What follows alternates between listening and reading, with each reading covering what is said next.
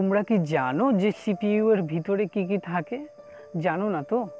তাহলে চলো বন্ধুরা, আজকের আমরা এই ভিডিওটাতে দেখে নেব যে সিপিইউ এর ভিতরে কি কি থাকে। প্রথমেই আমি তোমাদের কাছে একটা ছোট্ট রিকোয়েস্ট করব, আমার চ্যানেলটাকে সাবস্ক্রাইব করে দিও। তো চলো বন্ধুরা, এবার আমরা ভিডিওটাকে শুরু করি।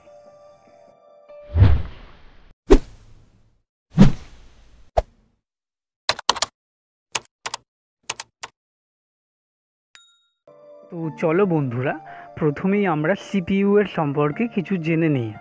সিপিইউ এর ফুল ফর্ম হলো সেন্ট্রাল প্রসেসিং ইউনিট সিপিইউ বলতে আমরা যেটা সাধারণত কম্পিউটারের পাশে দেখে থাকি, সেটাকেই কিন্তু আমরা সিপিইউ বলি। এখানে এই যে ছবিটার মধ্যে তোমরা দেখতে পাচ্ছ, কম্পিউটারের পাশে যেটা দেখা যাচ্ছে, এটাকেই কিন্তু আমরা সিপিইউ বলছি। তবে এটা কিন্তু সিপিইউ নয়। এটা হলো ক্যাবিনেট। এর ভিতরে যে মাদারবোর্ড আছে, মাদারবোর্ডের মধ্যে প্রসেসরকে আমরা সিপিইউ বলি।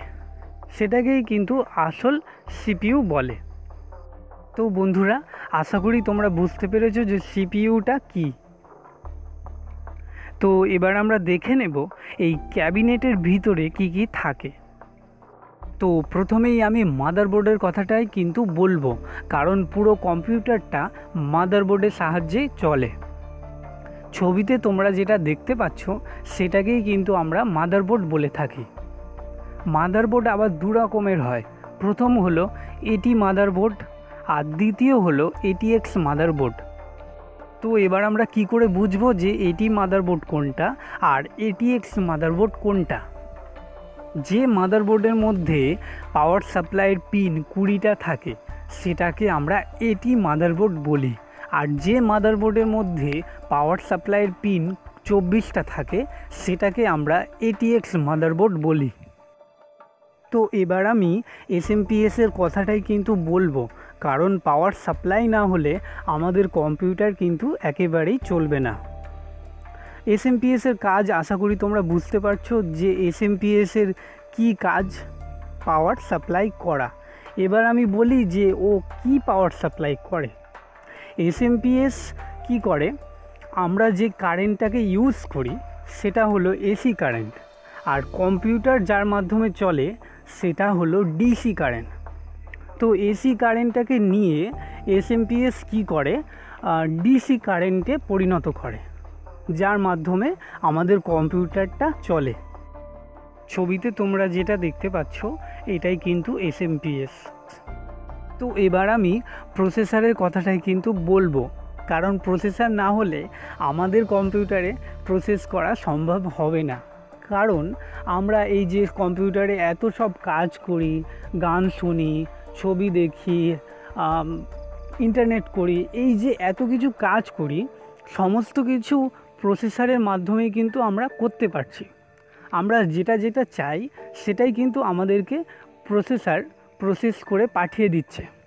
কোনটার পর কি হবে, কোনটার পর আমরা কি করতে চাই, সেটা কিন্তু প্রসেসারের মাধ্যমে প্রসেস হয়ে আমাদের কাছে চলে আসছে। প্রসেসার আবার অনেক রকমের হয়। যেমন ধরো Pentium Celeron dual core core I three core I six core I seven core I nine. তো এবার আমি র্যামের কথাই কিন্তু বলব, কারণ র্যাম না হলে কম্পিউটারে রিড আর রাইট করা যাবে না। র্যাম হলো র্যান্ডাম অ্যাক্সেস মেমোরি। র্যামের কাজ রিড আর রাইট করা। র্যামকে কিন্তু ভোলাটাইল মেমোরি বলা হয়। কারণ আমরা যেসব কাজগুলো করে থাকি, সেগুলো কিন্তু এই র্যামের মাধ্যমেই করে থাকি। ধরো আমরা কম্পিউটারে কোনো কিছু টাইপ করছি বা ধরো কোনো কিছু ছবি আঁকছি। তো যখন আমরা সেই কাজগুলো করছি, সেই কাজগুলো কিন্তু র্যামের সাহায্যেই হচ্ছে।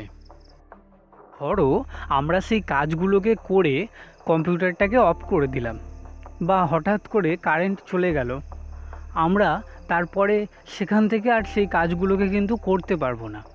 কারণ এই যে কারেন্ট চলে যাওয়ার ফলে বা কম্পিউটারটা অফ করে দেওয়ার ফলে র্যাম কিন্তু সব কিছু মুছে ফেলছে। যার জন্য আমরা সেই কাজগুলোকে আর কিন্তু করতে পারব না। তো এই জন্য র্যামকে ভোলাটাইন মেমোরি বলে। র্যাম অনেক রকমের হয়। যেমন ধরো DDR one DDR two DDR three DDR four তো এরকম ধরনের র্যাম কিন্তু পাওয়া যায়। তো এবার আমি হার্ড ডিস্কের কথাই বলব। কারণ হার্ড ডিস্ক না হলে আমরা কোনো কিছুই কিন্তু সেভ করে রাখতে পারব না। আমরা যা কিছু সেভ করে রাখি, সবই কিন্তু এই হার্ড ডিস্কের মধ্যেই সেভ করে রাখি। তো হার্ড ডিস্ক আবার দু রকমের হয়। যেমন ধরো, সাটা হার্ড ডিস্ক আর PATA hard disk SATA hard disk বলতে যে হার্ড ডিস্কে এই সাটা কেবিলটাকে লাগানো যায়, সেটা হলো সাটা হার্ড ডিস্ক আর পাটা হার্ড ডিস্ক বলতে যে হার্ড ডিস্কে এই পাটা কেবিলটা লাগানো যায়, সেটা হলো পাটা হার্ড ডিস্ক তো এবার আমি ফ্লপি ডিস্কের কথাটাই বলব, কারণ আগে হার্ড ডিস্কের বদলে ফ্লপি ডিস্ক কিন্তু ব্যবহার করা হতো। এক একটা ফ্লপি ডিস্কের সাইজ ছিল three one by two inch five one by four inch তো এবার আমি ডিভিডি ড্রাইভের কথাটাই কিন্তু বলব। কারণ একটা সিপিইউ এর ভিতরে ডিভিডি ড্রাইভ না থাকলে সিডি ক্যাসেট কিন্তু ঢোকানো যাবে না। কারণ আমরা সেই সিডি ক্যাসেটের মধ্যে বিভিন্ন জিনিস স্টোর করে রাখি। যেমন ধরো, বিভিন্ন রকম ফাইল ইম্পর্টেন্ট ডকুমেন্টস এইগুলো। তো বন্ধুরা, আজকের মতো আমার ভিডিওটা এখানেই শেষ করছি। আবার দেখা হবে পরবর্তী ভিডিওতে। আর ভিডিওটা যদি ভালো লেগে থাকে, তাহলে অবশ্যই আমার চ্যানেলটাকে সাবস্ক্রাইব করে দিও।